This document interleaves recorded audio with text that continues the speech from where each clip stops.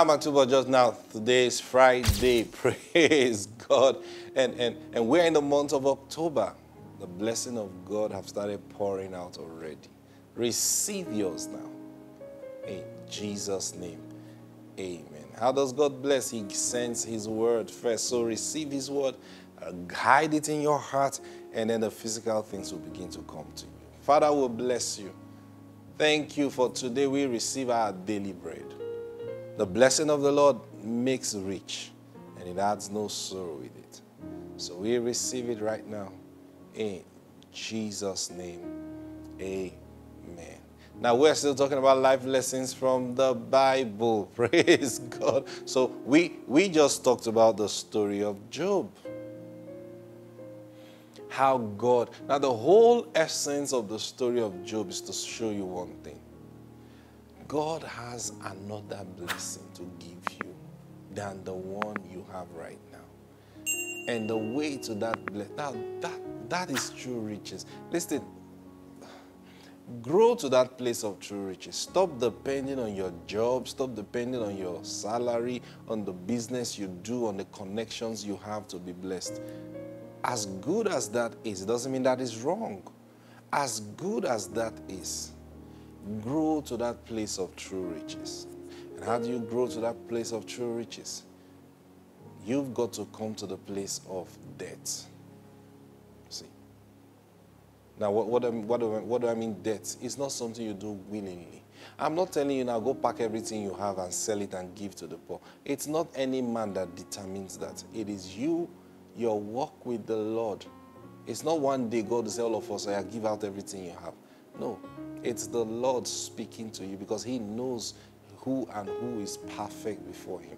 So it's the Lord that will come to you and tell you, son, give out that car.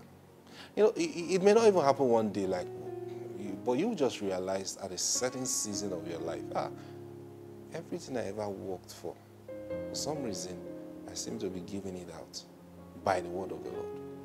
Why? I'll tell you why. True riches.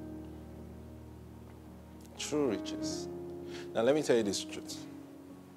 As a child of God, you don't have to wait to get mammon first. And then I say, God, I have mammon now. Can you test me for true riches? No. You can start out from where you are and begin to believe God for true riches. Oh, I'm telling you the truth. I'm telling you the truth. You don't have to wait to be a billionaire in, like Job and then God, okay, God, like, you know, God, now you can test me. Oh. No. Lord, I believe in true riches. I see it. And I trust you. All it takes is to trust in the Lord completely. I mean, eh, see, he that cometh to God must believe that he is. If God is and you believe he is, you will trust him for true riches. So you may have a very good job right now, and you just settle it in your heart. You know what? The day God tells me to resign from this job, I'm not going to think twice concerning it. Why? You see, because what's going to make you think twice? It's not because of the service you're rendering. No, it's not. Most times it's going to be because of the comfort you enjoy that that job gives you monetary kind of comfort. Okay, I pay the bills with this job. So if I resign now, who's going to pay the bills? Those are the kind of things that will go through your mind. It's not, mm, ah, the, the, the, the purpose I'm serving in this place. Ah, if I leave, who's going to do it? You know that's not true because it's going to be filled.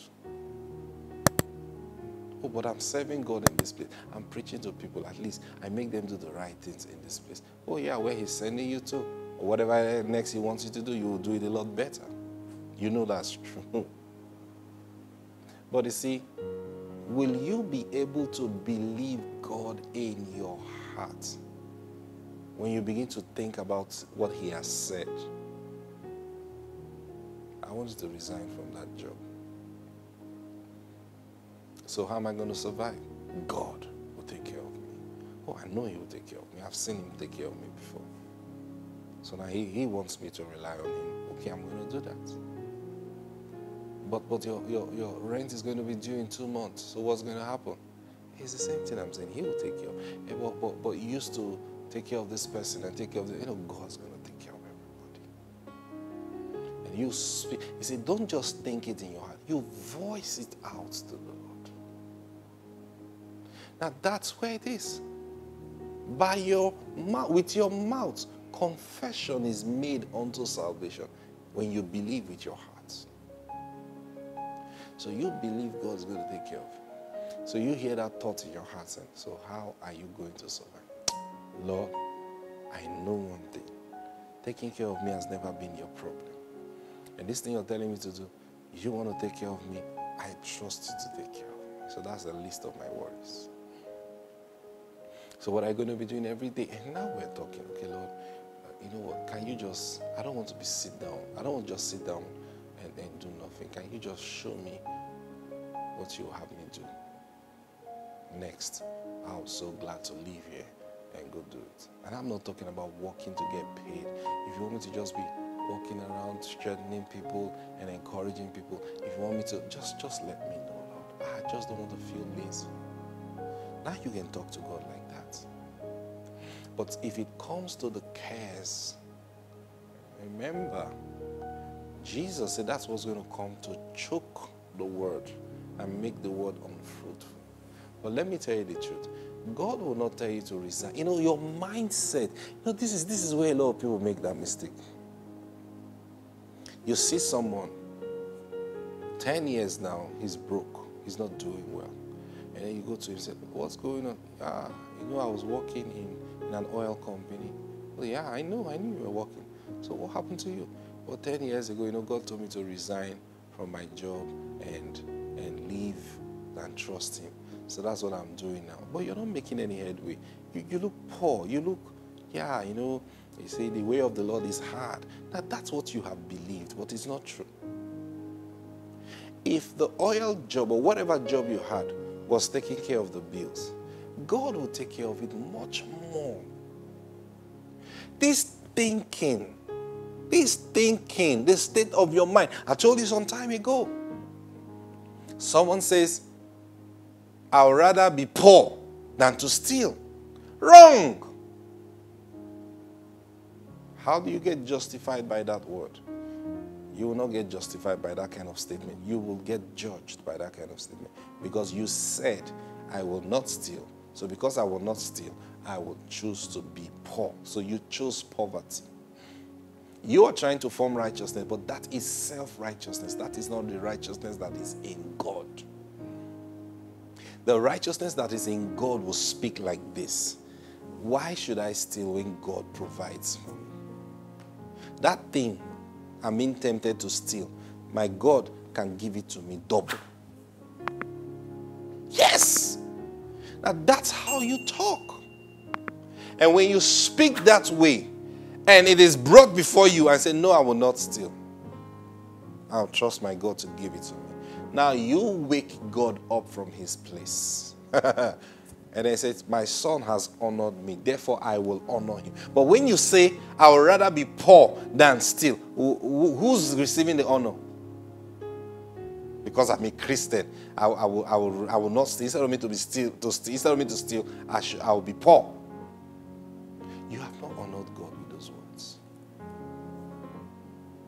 I would rather die than bow down to your God, you have not honored God. You will die.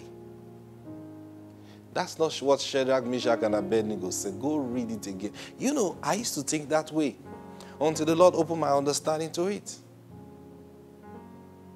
You know the story of Shadrach, Meshach, and Abednego? The king said to them, Hey guys, I hear you guys don't want to bow down by the, because of the instruction that I've given. I'm going to give you one more chance. They are going to beat the, the drums and play the flutes and all that. When you hear that sound, you bow. If you don't bow, I'll throw you into that furnace and let me see the God that will deliver you from it. And these young men spoke to the king and said, Now, I want you to understand something. You see, sometimes we get these things wrong. And then we want to speak like we think they did, and we'll get ourselves into trouble. Some people think they were arrogant to the king. No, they were not arrogant to the king. The king already knew who they were. I hope you know that. Yes, because when, when Daniel was promoted, after he interpreted the king's dream, Daniel spoke to the king about his friends. And told him, Look, I have these guys, they are too wise. And then the Bible said the king promoted Daniel's friends. And they were in charge of so so they were bringing reports to the king and they were doing their job very well. And the king knew that the grace of God was upon their lives. He knew. So when he brought up that thing and they said to him, Oh king, we are not careful to answer you in this matter. That wasn't rude. They were not being rude. Now, of course, the translators are translating it in our language today. See, for example, you know, when, when, when you read the story in the Bible and you see, for example, Jesus saying, Woman, you know, you want to read it in today's term. You say, Woman, come here, as though you're speaking out of authority. But, but Jesus would say, Woman, the same thing would say, Oh, Mrs. Say, Hello, Mrs. If you know the person's name. That's what he meant. It's, it's a word for respect for woman. So it's not a word used to other people. Like, woman, come here. No. No. So when they said, Oh, king, we are not careful to answer you in this matter, they were showing honor to the king. They were telling the king, Say, king, this matter is not a problem at all. That's what they actually meant.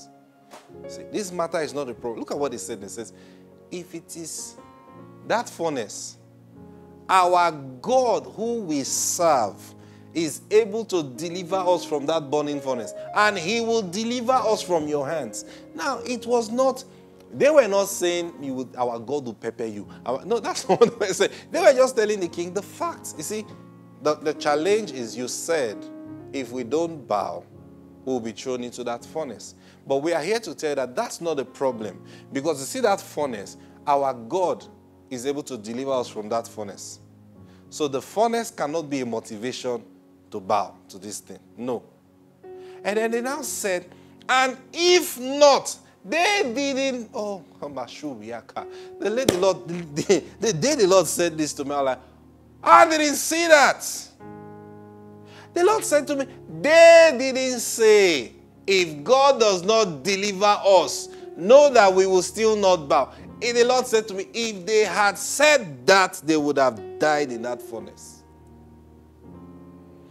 And the Lord said this to me. He said, This is why a lot of my children die in the face of danger.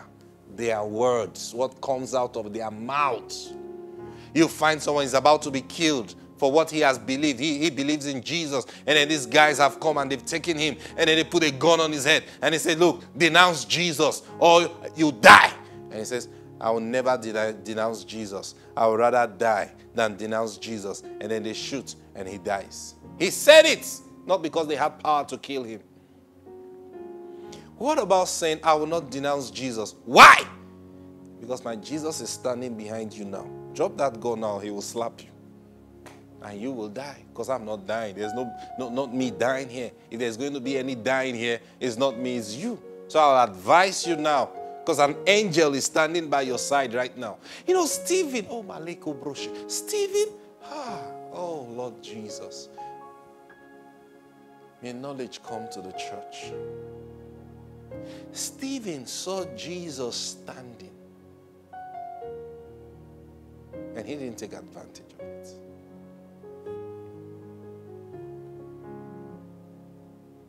I come face to face with death, and my eyes are open. I see Jesus standing. All of you that are trying to, uh, you, will, you will see trouble that. oh, Lord Jesus. I, I, Lord, what do you want me to? I know Jesus is not going to tell me it's okay, they should kill you. I know he will, he will never say that. I'm sure Jesus stood up to Stephen. He said, Stephen, what do you want? And Stephen said, I'm tired. I commend my spirit into your hands. What if Stephen had said, Lord, just like Elisha, come on now. Elisha said, Father, can you blind their eyes? And suddenly they all went blind. Not physically blind like they were. No, no, no. It was a step of faith. He said, blind their eyes. Then he came out and said, Who are you looking for? Elijah, come, let me take you to him. That was the blindness. Their eyes were open. They were seeing the person they came to arrest, but they couldn't recognize him. You think God, that same God, have become disabled all of a sudden? No, we have not used this power. We confess wrong and then we get it wrong.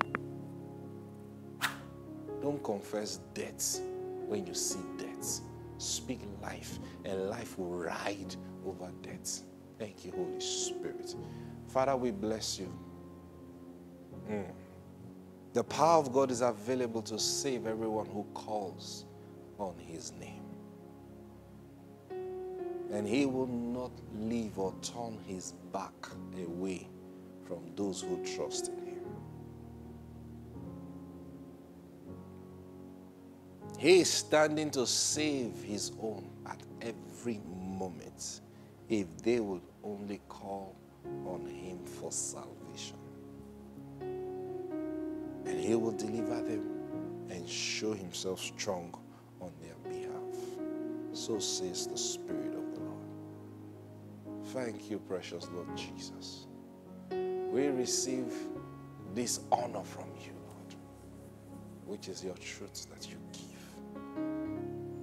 We do it and bring glory to your name. In Jesus' name. Amen. This weekend is going to be blessed for you. Praise God. I'll see you on Monday. Until then, have the best weekend ever.